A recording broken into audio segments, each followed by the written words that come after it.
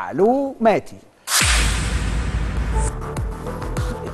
البداية معاك يا أستاذة ريهام مفيش طبعا بعد كده الأهلي كسبان وهتبتدي آه، لا. بأخبار لازم لا لازم. المباراة كانت كويسة جدا وطبعا يعني الحضور الجماهيري كانت حاجة رائعة.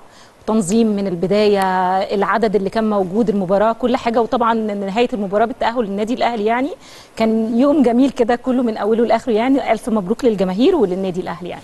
ندخل على أخبارنا بقى على طول عشان. الزملاء بيتضايقوا وعايزين مين نديهم بس وقتهم زملاء مين اللي عبد أقسم الباسط. بالله.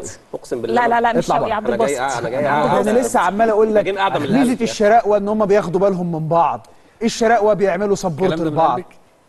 يعني نص نص آه خافت منك. يعني. ما انت طب يلا. كملي يا ريهام اتفضلي عندنا بس خبر الاولاني معانا عن آه، محمد حمدي آه، في كلام كتير جدا عن إن النادي الأهلي عايز آه، محمد حمدي آه، ي- في صفوفه خلال الموسم اللي جاي والحقيقة إبراهيم إن في فعلا اهتمام شوية من النادي الأهلي باللاعب. لكن لحد دلوقتي ما فيش مفاوضات رسمية بدأت في, أي حاجة تخص اللاعب يعني. لكن في اهتمام فعلا بإن هم ممكن يضموه خلال الموسم الجديد يعني.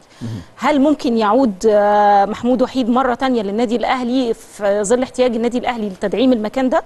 آه، محمود وحيد إحنا عارفين إن هو كان طلع سنة إعارة لطلائع الجيش والمفروض إن السنة دي خلاص هيخلص عقده معاها يعني. فلحد دلوقتي لا مفيش أي نية لعودة محمود وحيد مرة تانية للنادي الأهلي خالص.